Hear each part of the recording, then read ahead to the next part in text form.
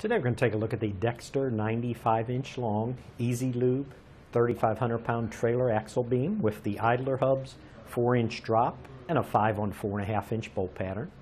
Now this axle beam will act as part of your trailer suspension system, replaces an axle on your trailer, and you can fabricate a suspension to fit your application.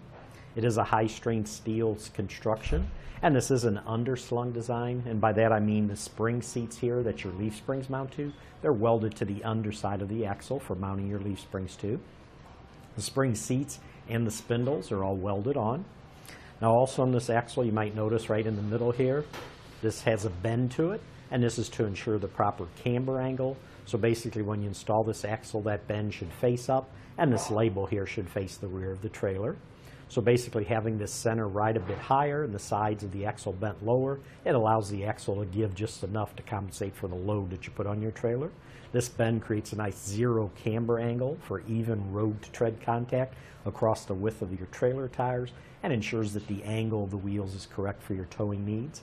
The result is you get an excellent straight line acceleration for steady controlled towing. Now the spindles on these, they are a four inch drop. You can see the spindles up here, the axles down here. So there's a four inch drop, and these are Easy Lube spindles. What's nice about that, the Easy Lube spindles have the built-in grease zerk fittings for simple lubrication of your bearings. So you can just put your grease gun on there, grease gun and pump grease in there to your bearings. That way you don't have to disassemble the hub. You can just pump it right in there. And of course the lowered axle beam, that provides you a lower deck height for easier loading and unloading. The idler hubs, they are a cast iron idler hub. They're very sturdy and durable. And it will include all the parts you need. Now we've assembled it just to show you what it looks like here.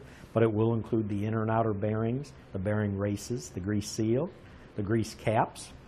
And they do include the Easy Lube grease caps that'll go on like that. And they have the rubber plug that you can pop off to access that Zerk fitting. the wheel studs and the lug nuts are all included. And they even include a nice tube of marine grade wheel bearing grease to be able to put on your bearings. This part is made in the USA. Weight capacity is 3,500 pounds. Now on an axle there's two critical measurements and that'll be the hub face to hub face length and that'll be measured from the hub face right here where your stud, wheel studs are all the way across to the hub face over there. On this one it'll measure 95 inches.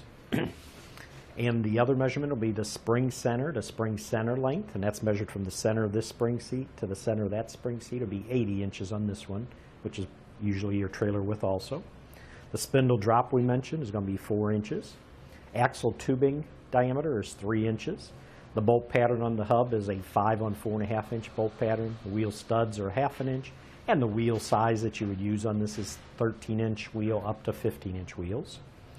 But that should do it for the review on the Dexter 95 inch long Easy Lube 3,500 pound trailer axle beam with the idler hubs, the 4 inch drop, and a 5 on 4.5 inch bolt pattern.